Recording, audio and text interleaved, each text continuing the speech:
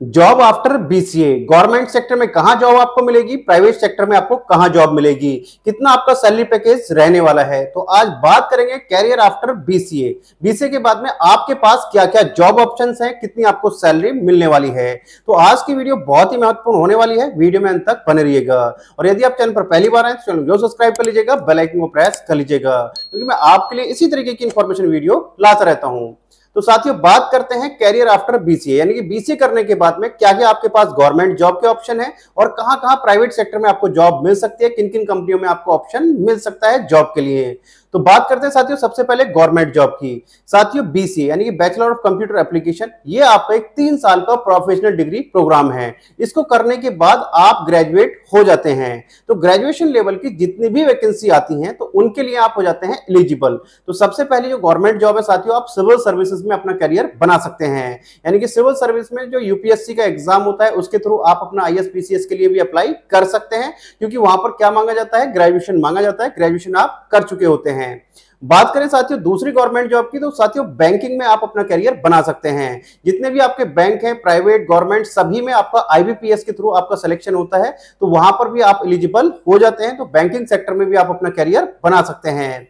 बात करें साथियों, तीसरी गवर्नमेंट जॉब की तो तीसरी गवर्नमेंट जॉब है साथियों सेंट्रल गवर्नमेंट के अंदर जो आपका एसएससी है स्टाफ सिलेक्शन कमीशन हर साल एग्ज़ाम कंडक्ट कराती है सीजीएल का, यानी कि कंबाइंड ग्रेजुएट लेवल तो आप ग्रेजुएट हो जाते हैं तो उसके थ्रू आप अपना करियर बना सकते हैं। इसमें आपका जितनी भी सेंट्रल गवर्नमेंट में आपका इंस्पेक्टर कस्टम कस्टम में इंस्पेक्टर आपका सेंट्रल एक्साइज में इंस्पेक्टर तो आप उसके लिए आवेदन कर सकते हैं।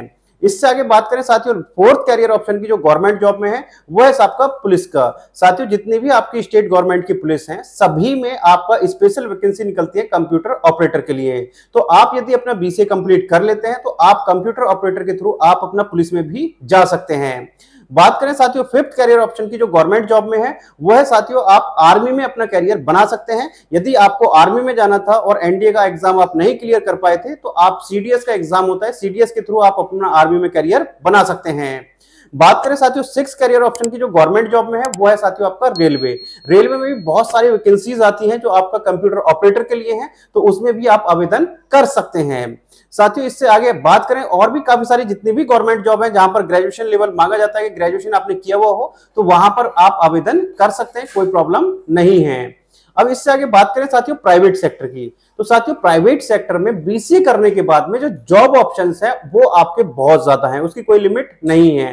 कंप्यूटर एक ऐसा कोर्स है कंप्यूटर बीसीए आपका एक ऐसा कोर्स है, जिसको करने के बाद में सिर्फ़ आईटी की कंपनी ही नहीं, आप सभी फ़ील्ड में आपको कंप्यूटर ऑपरेटर की आवश्यकता होती है। फिर चाहे वो मेडिकल हो, आपकी जितनी भी फ़ील्ड है, सभी में आपका कंप्यूटर ऑपरेटर चाहिए होते हैं।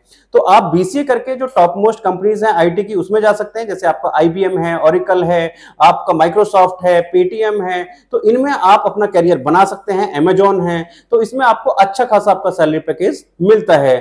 यदि आप ये डिपेंड करेगा कि सैलरी कितनी मिलती है तो साथियों ये डिपेंड करता है आपका कि आप किस कॉलेज, यूनिवर्सिटी से आपने किया है और आपका जो सिलेक्शन है वो किस कंपनी में हो रहा है। आपका अमेजोन में हो रहा है फ्लिपकार्ट में हो रहा है, आपका माइक्रोसॉफ्ट में हो रहा है ऑरिकल में हो रहा है तो ये डिपेंड करता है साथियों आपके किस कंपनी में आपका सिलेक्शन हो रहा है। तो सैलरी डिपेंड करती है, उसके ऊपर मिनिमम सैलरी की अगर हम बात करें तो थ्री टू सिक्स लैख का पैकेज मिनिमम और मैक्सिमम पैकेज की बात करें तो साथियों फोर्टी लैख तक भी आपका पैकेज जाता है। यदि आप किसी अच्छे कॉलेज यूनिवर्सिटी से अपना बीसीए कंप्लीट कर लेते हैं।